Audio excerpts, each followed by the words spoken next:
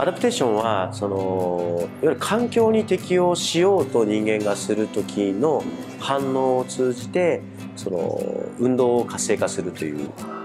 エクササイズですね。今までのその運動っていうのはやはり正しい運動をやることによってのみ結果が得られるっていった筋骨格系を整えて運動を整えて何かがしやすくなるという段階でやるのが多かったんですけどうんどちらかというとこの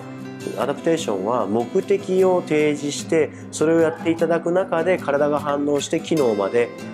上がっていくそういったトップダウン的なアプローチだと捉えたらいいしそれはもう子どもの運動発達っていうのはまさに目的ありきで発達していくのでそこにも合致してるかなと思ってます。例えばその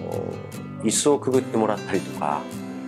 あの不安定なところを歩いてもらったりだとかあとは木によじ登ったりだとか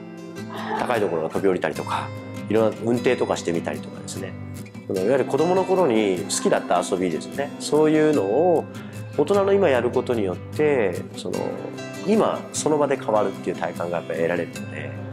非常に効果的だと思ってます。今ですねアダプテーションを導入されたそのジュニアアスリートの指導者がどんどん結果を今出してきてるんですけど例えばその投球系のあのスポーツ例えば野球とかですね。あとはそのラケットでこうスマッシュを打つようなテニスだとかバドミントンの選手とかがそのぶら下がるをやっただけでもうスマッシュが激変する。もうそれはもう本人も体感しますし思ったところに行くようになるとか。その